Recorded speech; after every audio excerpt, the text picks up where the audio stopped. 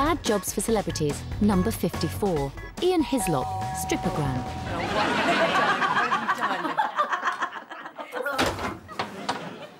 Hello. Can I help you? I'm currently clothed, but I'm soon to be unclothed. You're the strippergram. I am indeed. Hurrah. Good evening. I brought some music just to get us in the mood. The Brandenburg Concerto, number three, in G major. Hmm. Ah, I can tell from the L you must be the proverbial hen. Hmm. Either that or a junior cabinet minister. Anyway, you're all about to have the time of your lives, allegedly.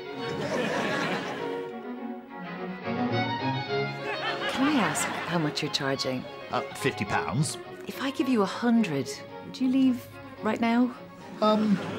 Yes. I'll get my purse.